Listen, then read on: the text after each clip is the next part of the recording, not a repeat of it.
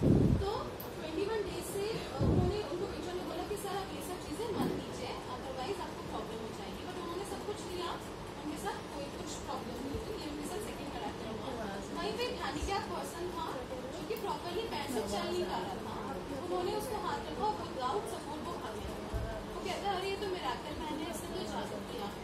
तो कहते हैं, अरे, वाह, ये आर्ट तो मुझे आ गई है मेरे घर के पास एक बेगर्स की कॉलोनी है जो लोग बेग करते हैं वो भी अच्छा करना जनरेट नहीं कर रहे सब लोग मेहनत से पैसा कमाए तो उन्होंने सबको डील करा लेकिन कुछ टाइम बाद देखते हैं सब वो कॉलोनी छोड़ छोड़ के वापस आ रहे हैं और सब देख रहे पास में कर्मास कर रहे थे उसी के हिसाब से तो उनको बहुत मिलेगा तो आपको बोलते उनको ठीक करने वो कहते भगवान हर किसी को एक मौका ज़रूर मिलना चाहिए। इम्प्रूवमेंट आपकी एनर्जी परमानेंट नहीं first law reiki should be requested रहे हीलर कौन है जो हीलिंग कर रहा है और हीलिंग कौन है जो हीलिंग ले रहा है? जब तक कोई आपसे रिक्वेस्ट ना करे या फिर अपना इंटरेस्ट शो ना करे आपको ज़बरदस्ती किसी को रेकी नहीं लाइक हमारी तरफ़ से आपने पहले फेसबुक पे क्वेरी करी हमने। हमारी तरफ़ से आपके पास कॉल आया और कोई ज़बरदस्ती नहीं अगर आप इंटरेस्टेड हैं तो यू कैन ज्वाइन ठीक है? सो so, अगर कोई इंटरेस्टेड है तो